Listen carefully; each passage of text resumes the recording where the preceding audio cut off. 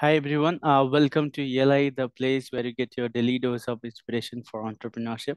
And today we have with us Mr. Sumit uh, Sabharwal, who is the CEO of TeamLease Group, uh, which is India's largest HR tech platform. And if you're working somewhere, probably you would have heard from TeamLease Group at some point of time.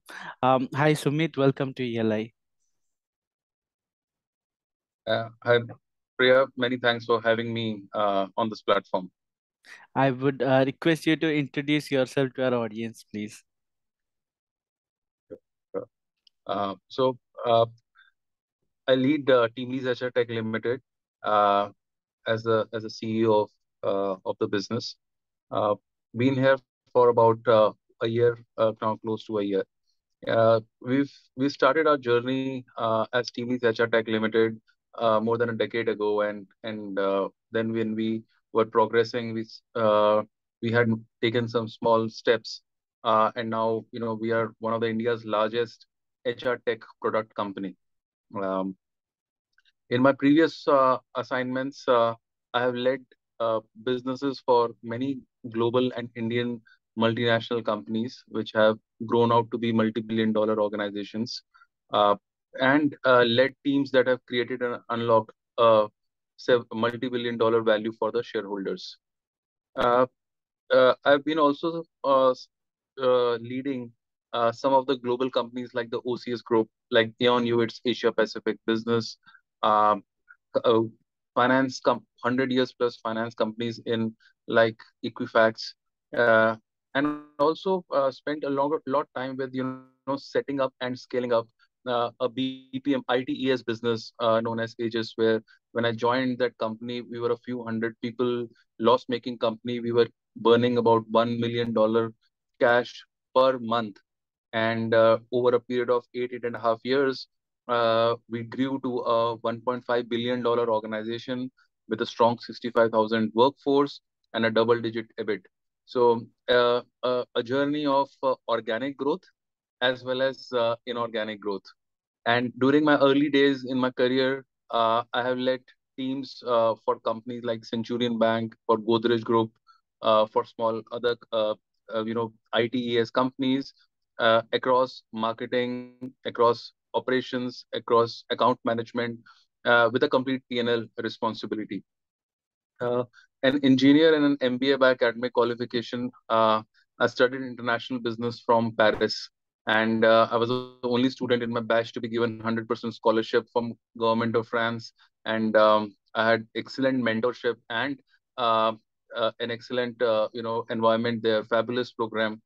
Uh, I've been honored with several leadership awards and accolades um, during this journey, like the Chairman's Trophy, you know, Managing Director of the Year, Visionary Leader of the Year, and I also have an honorary PhD from a university in South Korea. So uh, overall, you know, uh, Priya, I'm a people's person. I, have a very strong focus on uh, business growth, innovative solutioning, and operational efficiencies. Uh, so this is, in a nutshell, uh, uh, my brief journey.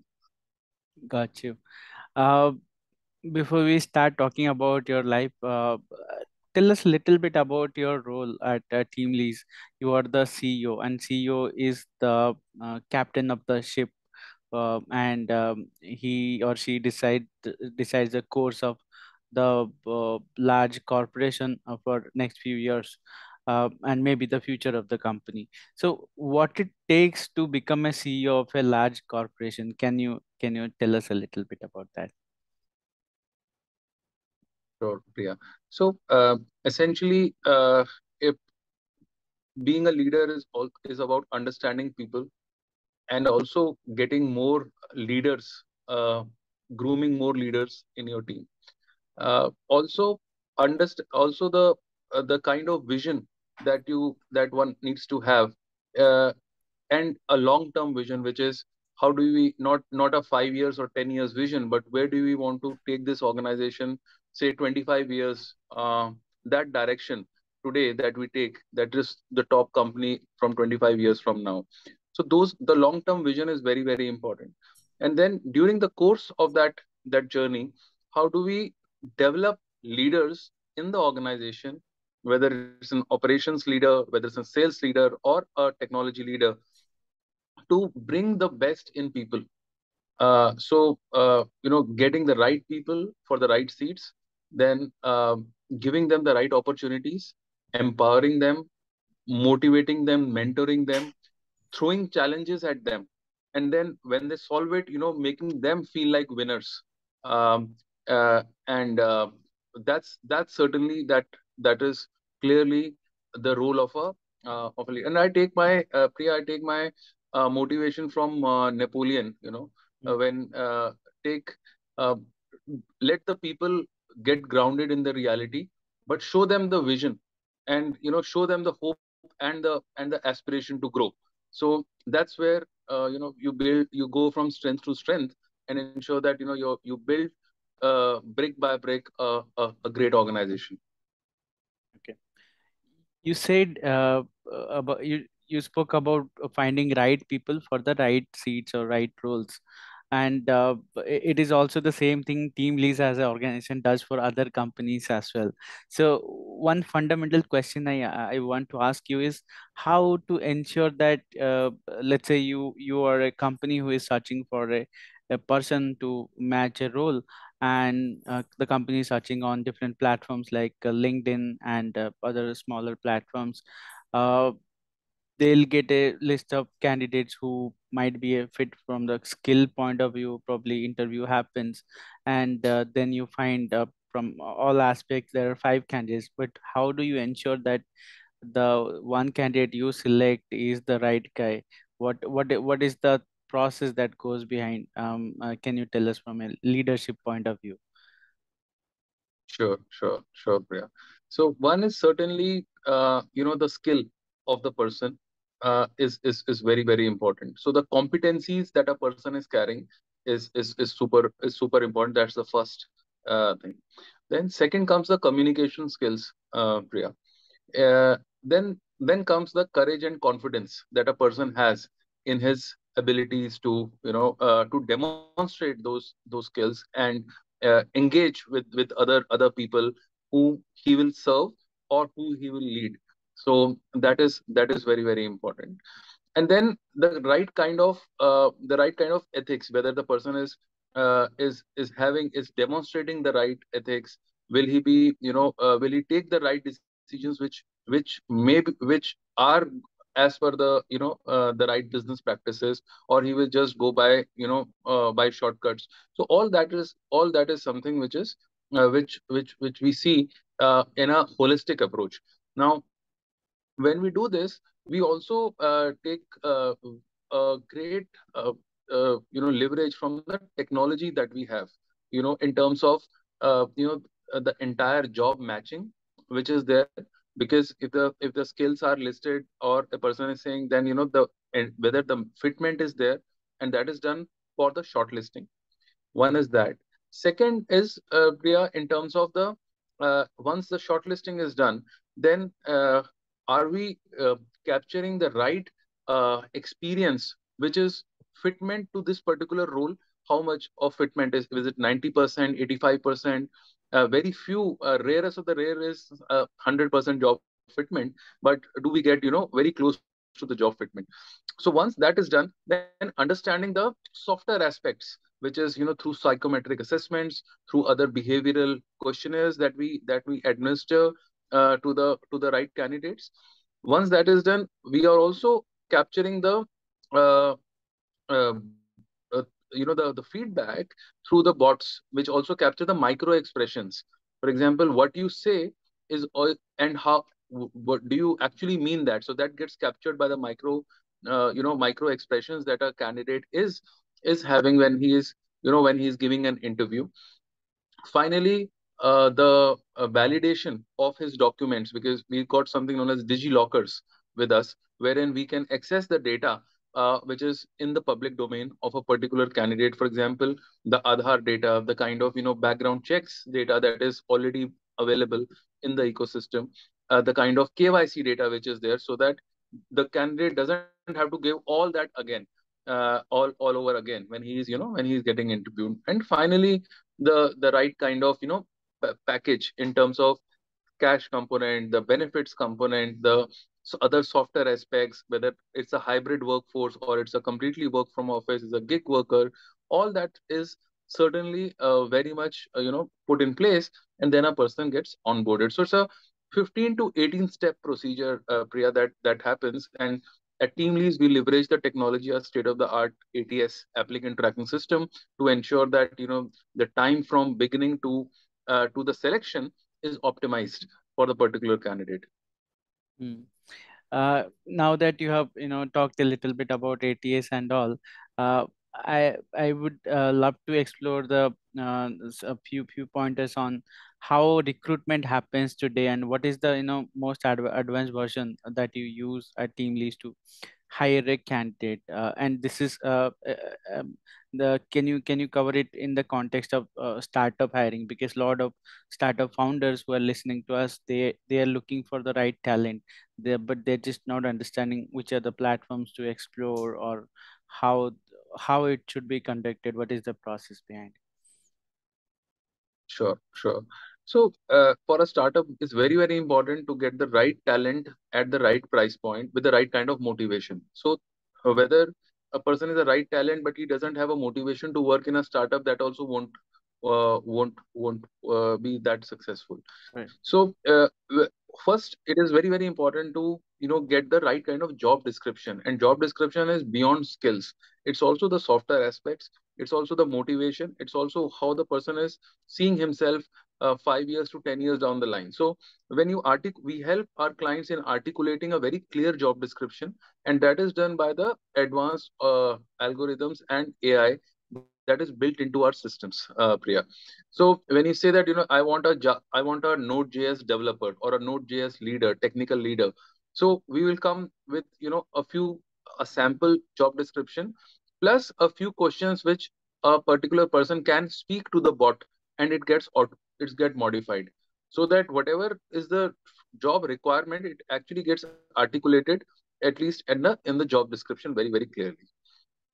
So that's the starting point. Um, and uh, you know well begun is half done.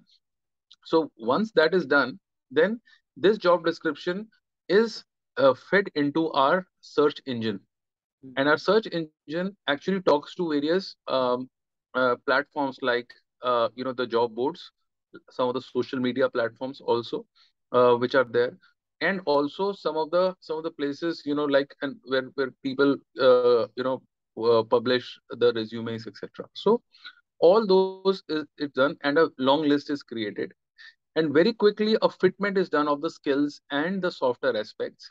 And we create a we create a long um, you know uh, a, a list of interviews which is done now sometimes what happens priya is that you know people are not comfortable in in in giving an interview at the working hour. someone says that you know i want to get an interview at say 8 9 o'clock in the night 10 o'clock in the night Mm. we can't expect our recruiters to log in at 10 o'clock in the night and take an interview of the person right so we've got something known as a bot interview.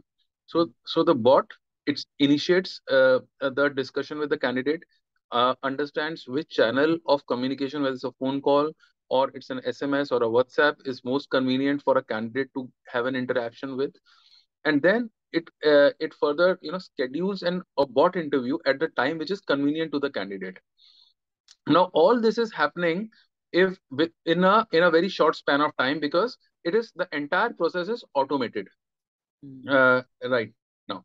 And once the initial level of interview is done, then there is a shortlist created of top three. For example, if one person is required, top three people who will be most suitable, and that is shared with the with the client, and then they can or or the startup founder, he can or the startup uh, person who's recruiting, and he can he, instead of going through this entire hassle of um, shortlisting, searching, speaking, he gets a very crisp uh, three uh, people whom he can do the final round, and he can onboard. So it saves a lot of time for the uh, for the startup uh, it saves a lot of cost. For the candidate it's an excellent experience which happens. And uh, eventually the fitment which is most important is being taken care of because if you are getting the right person for the right seat definitely when he becomes an employee he will be more engaged and his chances of being with the organization for a long time increases multifold. Got you Uh, now let us dive a little deep into uh, your uh, personal journey as a leader. Uh, tell us a little bit about your early life prior to uh, working anywhere. How was your childhood and how did your education happen? And any glimpses of leadership in your early life? Yeah, sure, sure. So I've I've been always been you know a very academically oriented you know student uh, in my student life. Uh, however, uh, uh, during my schooling days and my higher schooling, especially, uh, I I came to a realization that only uh, knowledge of books will not help in developing a uh, in developing an overall well-rounded personality. So I actually went into my um, uh, uh, my work life and my uh, uh, in my early in my in my early college days uh, itself. Uh, so I used to do a part-time work um, in you know in various um, in various um, you know places, help assisting you know sales majorly sales leaders in collecting the data in you know in very very in very very smaller ways in which I could understand the way in which the corporate uh, corporate life uh, is, and that really gave me a um, um, uh, gave me a lot of insights into what we learn in the books versus what we are actually doing. Uh, there is a lot more that we need to build upon that.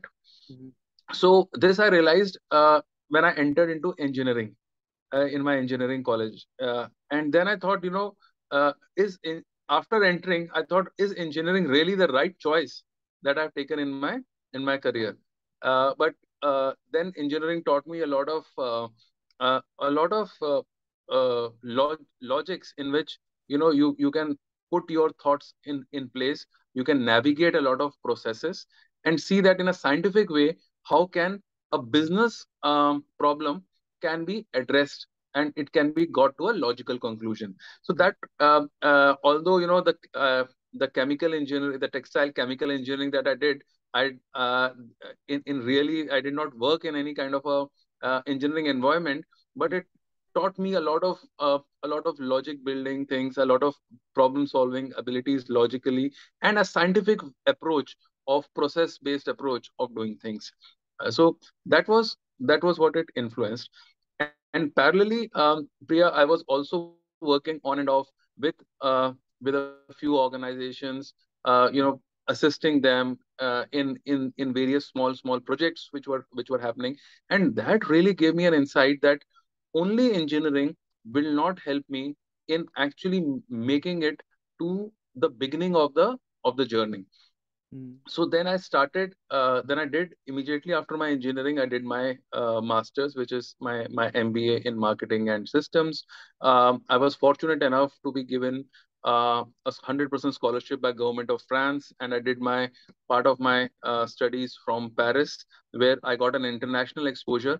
And there also you know we did our uh, a lot of work uh, for some of the european companies being in being in europe. That again gave an a different exposure how the work is done in different side of the you know the other side of the world. And mm, when i came back to india uh, rather than you know finding uh, you know many of my classmates went to uh, some of the banks some of the consulting firms some of the uh, other traditional fmcg firms but right. i took at that and this is like about 20 years plus back i took a very very different approach i said that you know i want to go into an emerging industry and uh, at that time they used to ITES was not the coined word for the uh, for the for, for the industry. It was Mm, uh, GE had begun the call center culture in India, and when I did my engineering and my MBA and joined um, ITES firm, my uh, parents and my relatives were very very surprised that why do you need to do so much studies for joining a call center? Mm, so you know that was a different approach that i took. And i'm really happy that you know i i took that approach uh, you know in that because uh, the kind of mentorship that i got there the kind of you know independence that i got there to drive business units in itself to drive projects in itself to manage midterm teams i mean imagine a person out of out of a uh, MBA college and he's, you know, he's driving team of around 400 people. And that's like a, you know, and a mentoring which is which is being done, you know. So that gave me a lot of head start into my early days and into becoming my into becoming a PNL leader right from day one rather than you know going in in a traditional way going in a, a management trainee somewhere understanding you know all that uh, all that stuff. So although it was you know practical real time learning that i got and i thought that you know that's that's the the and then i built upon it. You know i i was very very careful that i will want to get exposure into you know the finance side of the business which then i joined centurion bank and then inorganic and organic way of way of growth and building up the pnls and then uh, uh, after successfully turning around and making Aegis uh, and creating value then I took um, uh, as took over as a CEO of Aon Hewitt, and then the rest is you know uh, history. That's that's how the uh, the journey was. Journey is Priya. Got you. You said you are a people person, a people's person, and uh, from your very first job, you were managing a big team. Uh, that means there was something fundamental in you that uh, helped you in um, succeeding in these roles. Uh, something about people management or uh, probably interpersonal skills. So, would like to know what it takes to manage people. How can you successfully manage people? uh, and that too in a larger scale because a lot of startup founders they do not have they do not possess this skill. They may have technology skills or business skills to you know uh, find uh, market opportunities and you know capitalize on it. But people management is a different ball game altogether. Tell us about it. What can we learn from you sure. Priya, um, many times we see that you know that uh, there is a person who comes to an office and he leaves his real self on the door of the office and then he comes and mechanically works in the office and then when he goes back he picks that up and then he becomes the same person whom he, when he was in uh, when he came to the office yeah. so when i was seeing that that is really a person getting those you know those skills and and hmm. those his true self to the work uh, or not I realized that many of the people hmm. uh, were not uh, were not doing that, hmm. right? So, uh, what was the trigger that made, wanted to make hmm. uh, that that we can do that we can make people comfortable and get their real self to work, and then only they'll be they'll they'll be feeling related to the work that they are doing. They'll be they'll they'll not only get their mind to work, but also they'll get their heart to work. That was very very important for them to get engaged engaged with the organization, engaged with the role that they are doing, engaged with their fellow, uh, you know, teammates, with their teammates and their seniors and you know and their and their peers.